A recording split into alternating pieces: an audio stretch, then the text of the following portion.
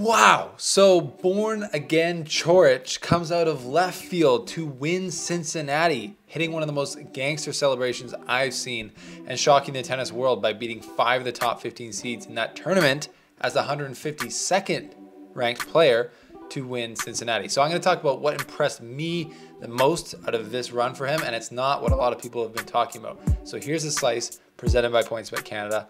Let's get into it. Hey guys, this is Casper Ruud. Hey, it's Denis Shapovalov. And welcome to The Slice.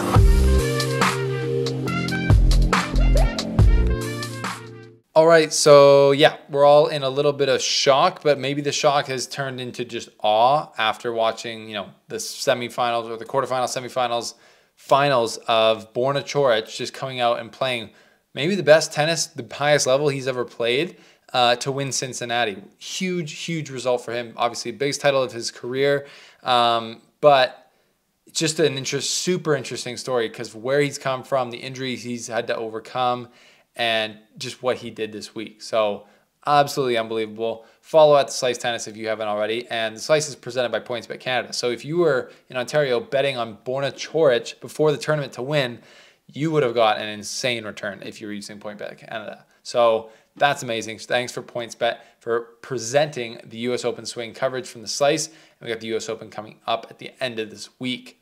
But the Slice on Borna Coric this week is that you know, he's gone crazy. He's done something that is one of the most impressive. People are talking about is it the most impressive win ever uh, in a Masters 1000? You know, I would say it's definitely right up there. There's a couple others that come to mind. I think David Nalbandian beat Federer, Djokovic, Nadal in one tournament. Um, so that's obviously up there.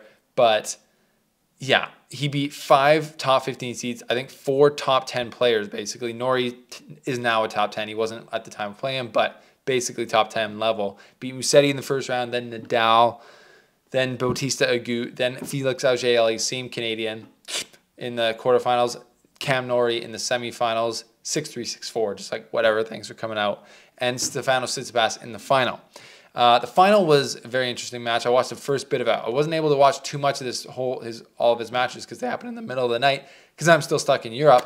But the tournament just went like he was he honestly won this tournament in pretty dominant fashion, only dropping one set, and that was the Rafa Nadal. Um, just absolutely playing great, huge first serve, kind of an improved service, and you know they talked about during the tournament. Uh, he didn't change his service motion with his shoulder surgery that he was coming back from, which can obviously be a super difficult thing to come back from. So Borna Coric just stuns everyone. If you're not stunned by his win this week, you're lying. Don't don't be capping with us here on the slice. Nobody saw this coming. And for reasons that some people are getting confused. And they're kind of maybe exposing that they haven't followed tennis for that long. But the you know, because he came in and he was ranked 152 coming in, he was the lowest ranked player to ever win a Masters 1000.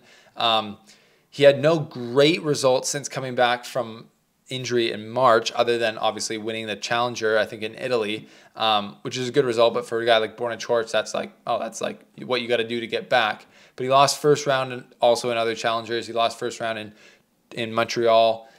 He comes out and wins Cincinnati. So people are saying one of the things they're saying is the most impressive thing is that a guy ranked 152 could win a Masters, and that's showing the depth of the ATP Tour, um, showing how strong the, the field is. And that's not what I see from this at all.